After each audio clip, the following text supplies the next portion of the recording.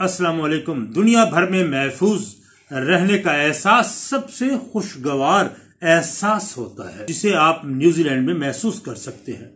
अगरचे ऐसा भी नहीं है कि वहाँ जराइम सिरे से होता ही नहीं। एक आइडियल सूरत हाल है, लेकिन दुनिया के दूसरे ममालिक की नस्बत यहाँ जराइम बहुत कम है। और यहाँ दूसरे ममालिक की नस्बत कौमियतों के दरमियान झगड़े नहीं होते और इनके दरमियान नफरत नहीं है।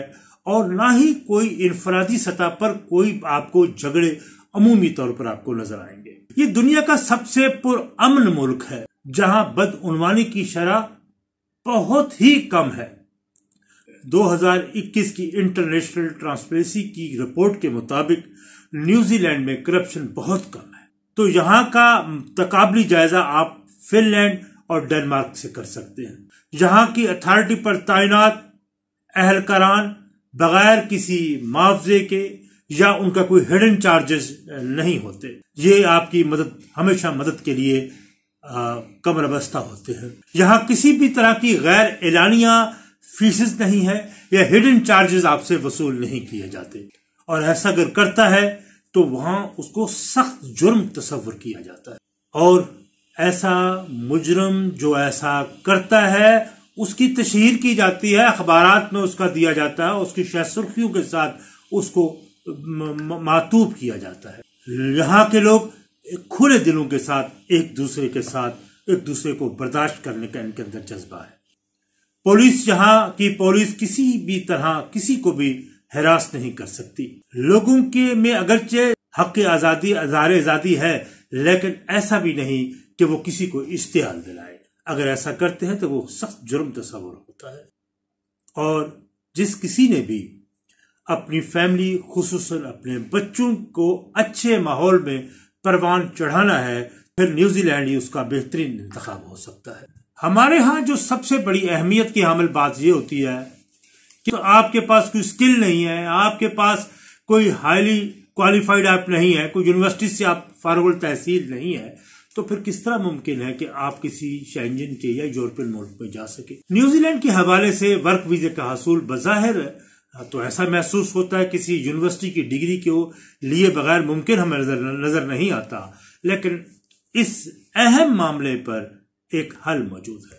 और मैं आपको बात आगे बढ़ाने से पेशतर मैं आपसे कहूँगा कि अपनी रिज्यूमे तैयार करने के लिए आप हमजा साहब का ये जो नीचे नंबर है, इस पर आप रबता कर लिया करें। और मेरे number zero three zero four five one double seven double one five पे कॉल कर लें, व्हाट्सएप पे मैसेज कर दिया करें और थोड़ा सा यार इस बात का ख्याल रखा करें कि मुझे रात को तीन तीन बजे भी कॉल आना शुरू हो जाती हैं और मैं बड़ा शर्मिंदा इसलिए होता हूँ कि मैं जवाब नहीं दे पाता। लेकिन अगले दिन मैं ज़रूर आपको जवाब देता हूँ आपके भी इल्म में। लेकिन बहरहाल आप मुझसे रबता कर सकते हैं, खुले दिल के साथ रबता कर सकते हैं, मैं आपका हमेशा आपको मैंने वेलकम ही कहा है। अच्छा न्यूजीलैंड में इमिग्रेशन के हवाले से एक बात तो बिल्कुल बुनियादी बात है कि आपके पास अपने मुतल शोबे में महारत होनी चाहिए, आपका तजर्बा होना ज़रूरी है। न्यूजीलैंड में जॉब वीज़ा के पॉइंट में इजाफा और यूनिवर्सिटी से उस प्रोफेशन की डिग्री से मुमकिन होता है। लेकिन सरकारी सतह पर यह शर्त बुनियादी नहीं है। इसको अपने जहन में रखिएगा यह शर्त बुनियादी तौर पर इमिग्रेशन पॉलिसी का वैसे हिस्सा नहीं है। न्यूजीलैंड में बहुत सी ऐसी जॉब्स हैं जो आपकी हुनरमंदी, आपकी स्किल्स पर मबनी है, जिसमें डिग्री की आपको ज़रूरत नहीं है। इनमें प्लम्बर हैं कारपेंटर हैं इलेक्ट्रिशियंस हैं और इस तरह की दीगर कामों में जिसमें वर्कर के लिए डिग्री की ज़रूरत नहीं है। लेकिन इन जॉब्स में हुनरमंदी, आपका स्किल होना और तजर्बाकार होना ज़रूरी है। न्यूजीलैंड में बहुत सी ऐसी जॉब्स जो स्किल्स पर मबनी है, उसमें डिग्री की ज़रूरत नहीं होती। और बुनियादी बात यह भी है लेकिन इसमें आपका तजर्बा चाहिए। और जिस तरह प्लम्बर होते हैं, जिस तरह इलेक्ट्रिशियंस हैं कारपेंटर्स हैं, और इसी तरह की दीगर कामों में जिसमें वर्कर के लिए डिग्री की ज़रूरत नहीं। लेकिन उन जॉब्स में हुनरमंदी और आपका स्किल और आपका तजर्बा दरकार होता है। ताकि आप एम्प्लॉयर की, उस जॉब की रिक्वायरमेंट को पूरा कर सके। न्यूजीलैंड में इस कैटेगरी में जॉब ऑफ़र होना ज़रूरी है। और उम्र की हद भी पचपन फिफ्टी फाइव ईयर से ज़्यादा नहीं होनी चाहिए। सेहतमंद हूँ आप हेल्दी हूँ और अच्छे किरदार के हमल हूँ। और इसमें डिग्री होना, फिर मैं बता रहा हूँ, ज़रूरी नहीं है इन मुख्तलिफ़ जॉब्स में। इसमें मैं कुछ बातें आपको बता देता हूँ। होटल वर्कर्स हैं बार एंड कैफ़े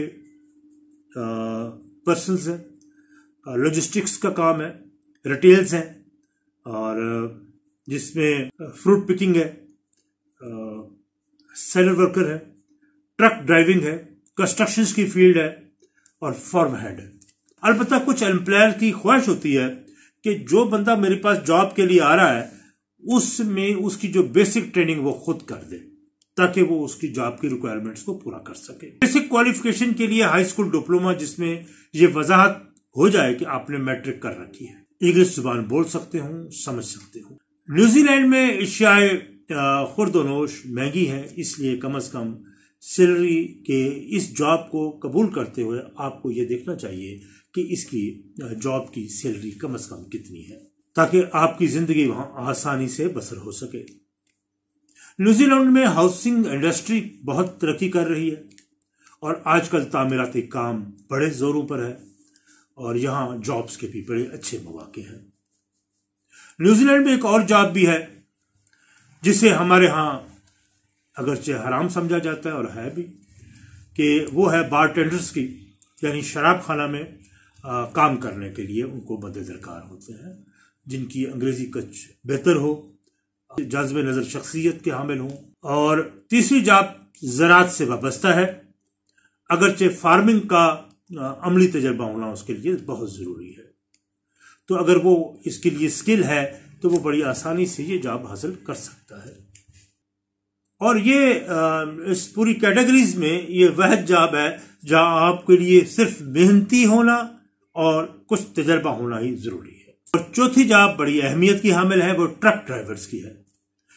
जी हाँ ट्रक ड्राइवर्स और वो लोग जिन, जो हैवी ट्रक्स को चलाते हैं हैवी जो उनका बड़ी गाड़ियों को चलाने का तजर्बा है, जिनमें ट्रक भी हैं, बसेस भी हैं, उनके लिए भी यहाँ बड़ी ज़रूरत है। उनको जॉब जहाँ मिल सकती है न्यूजीलैंड में और इसके लिए आपके पास इंटरनेशनल हैवी ट्रांसपोर्ट व्हीकल का लाइसेंस होना चाहिए। और उसे भी आपने वहाँ जाकर फिर रिन्यू करवाना है। नया लाइसेंस न्यूजीलैंड में जाकर फिर आपको लेना पड़ेगा। अच्छा एक और इनकी जो तनख्वाह है, वो बहुत अच्छी है। वो 28 डॉलर से ऊपर है। 28 डॉलर पर घंटा से ज़्यादा है इनकी। और जो लोग मूव करते हैं और काम करते हैं, वो 10 12 12 घंटे 15 15 घंटे काम करते हैं, आप उससे अंदाज़ा लगा सकते हैं आप कितनी आपकी इनकम हो सकती है। और एक और जॉब जो कुछ नहीं करना चाहते, एक काम तो बड़ी आसानी से वो जहाँ भी करते हैं, वहाँ भी कर सकते हैं। तो जिसका मतलब है घर में काम करने वाले या करने वालियाँ अगर आपके पास बच्चों को संभालने घर की केयरिंग करने वाले का तजर्बा है तो और घर के माहौल को समझकर एडजस्ट करने का जज्बा भी है आ, तो फिर आपके लिए ये जॉब बहुत अच्छी है। आपको वहाँ ये जॉब मिल सकती है। और छठी जॉब जो है वो है टैक्सी ड्राइवर की। अगर इसमें कंपटीशन बहुत ज़्यादा है। ज़्यादा क्वेरीज जो आ रही होती हैं वो ये कहते हैं जी हमारे पास हम कार चलाना छोटी गाड़ी चलाना जानते हैं हमें वहाँ ये स्किल है अगरचे मैं उनको कहता हूँ, ये स्किल नहीं है। ये ऐसी स्किल नहीं जिसपे आपको जॉब मिल सके। लेकिन न्यूजीलैंड में इसकी भी ज़रूरत है। लोगों को यहाँ राइड्स करने के लिए राइड्स बुक करते हैं। जिस तरह हमारे यहाँ उबर है, वहाँ भी दो तीन कंपनीज़ हैं जो ये काम कर रही है। उनको टैक्सी ड्राइवर्स की ज़रूरत होती है। और अगर आपके पास टैक्सी ड्राइवर का लाइसेंस है तो आप किसी कंपनी के साथ आप ड्राइवर के तौर पर काम कर सकते हैं। टैक्सी ड्राइवर की वहाँ कुछ लोगों से मेरी बात हुई, जो वहाँ काम कर रहे हैं मुख्तफ कंपनीज़ पे राइड्स करते हैं तो वहाँ उनकी सालाना आमदन पचास हज़ार यूरो तक है। तो अच्छी खासी बड़ी रकम बन जाती है। और अब इसके लिए मैं फिर आपसे वजाहत कर दूँ, मैं वीज़ा इशूइंग अथॉरिटी नहीं हूँ। हम आपका केस क्लिक करते हैं। जिस तरह एक अच्छा वकील आपका केस बेहतर अंदाज से तैयार करता है, हम बेहतर अंदाज से तैयार करते हैं। इसमें किसी भी तरह हम लोग कोशिश करते हैं कि कोई दो नंबर या गलत काम ना हो। और आपके लिए जॉब सीख करते हैं। जॉब सीख करने के बाद जॉब ऑफ़र लेते हैं आपके लिए और फिर वीज़ा प्रोसेसिंग होती है। और पहले तो यह है कि जब आप बात कर रहे होते हैं, जब आप मुझे अपनी सीवी भेजते हैं तो रिज्यूमे तैयार करने से पहले मैं खुद ये असेस करके आपको बता देता हूँ। लेकिन वीज़ा इशूइंग अथॉरिटी मैं नहीं, और ना ही ये कोई मैं डन के बेस पे आपके साथ काम करता हूँ। मैं सिर्फ़ इतना कहता हूँ कि हम आपका केस बेहतर अंदाज से प्लीट करते हैं। और अगर आपके अंदर आपके पोटेंशियल मौजूद होता है, या उसमें कुछ चांसेस होते हैं तो मैं आपको कह देता हूँ कि आपके का आपको ये चांस अवेल कर लेना चाहिए। और अगर नहीं होता तो मैं वो भी मैं कह देता हूँ कि आप इसके लिए इस ख्वाहिश से दस्तबरदार हो जाए। बहरहाल, अल्लाह आपको पाकिस्तान में ही अच्छी रोजी दे। लेकिन अगर आपको यूरोप जाने का बहुत ख्वाहिशमंद है तो सबसे पहले मैंने आज का जो न्यूजीलैंड में की जॉब्स के हवाले से बात की, वो इसलिए की कि जिनकी बहुत ज़्यादा ख्वाहिश है कि वो पाकिस्तान को से छोड़कर गल्फ में भी नहीं जाना चाहते। वो यूरोप ही जाना चाहते हैं। तो फिर मैं उनको कहता हूँ कि आपके अंदर ये ये क्वालिटीज़ अगर मौजूद हैं, आप एक अच्छे प्लम्बर हैं, आप एक अच्छे इलेक्ट्रिशियन हैं, आपके पास कुछ और तजर्बा, मुख्तलिफ़ फील्ड्स में तजर्बा है तो अपनी किस्मत आजमाई ज़रूर करनी चाहिए। और कॉल करने से पहले मुझे मैसेज कर दिया करें वॉइस मैसेज मेरे नंबर पे कर दिया करें।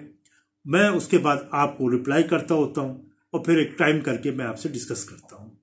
तो इन मिलते हैं इन अल्लाह आपको खुश वर्म रखे और अपना ख्याल रखिएगा। बस